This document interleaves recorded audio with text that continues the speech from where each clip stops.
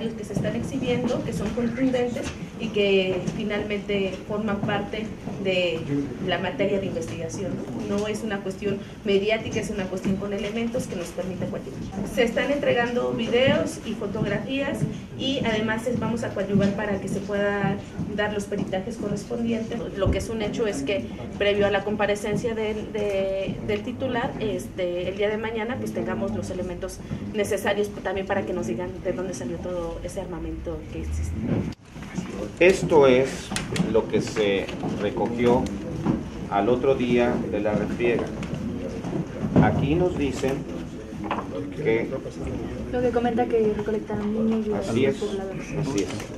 Aquí hay cilindros diversos, algunos azules, algunos rojos, algunos eh, cafés, algunos verdes, donde se eh, pues, da a conocer una diversidad de artefactos. Pero también hay ot- otro tipo de artefactos. Esto es tipo pera y estas son las balas de goma.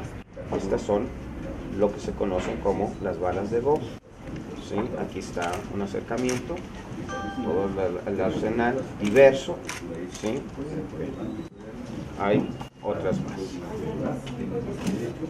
Bueno, tenemos ahora imágenes del armamento que se usó para esto. Estas lanzan este tipo de cilindros. Estos cilindros son lanzados con esta arma que se conoce con el, con el nombre de federal. Es un arma federal. Esta es un arma Thompson. Esta arma Thompson tiene capacidad para nueve cartuchos, seis o nueve cartuchos, y esta lanza también eh, gas lacrimógeno, pero también puede lanzar balas de goma.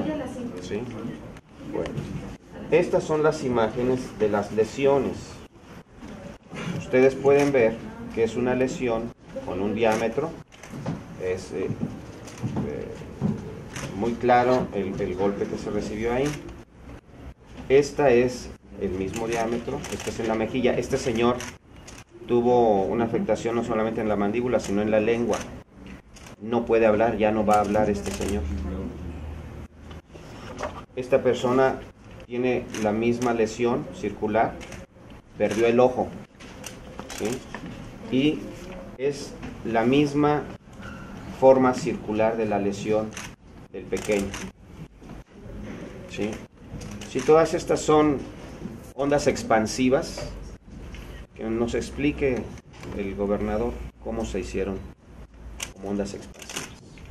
Esto es lo que les traemos aquí a la comisión y ya serán ellos quienes determinen en todo caso quién tiene la verdad. ¿verdad? Por supuesto que esta, este arsenal pues es muy difícil que la sociedad pueda tener acceso a él.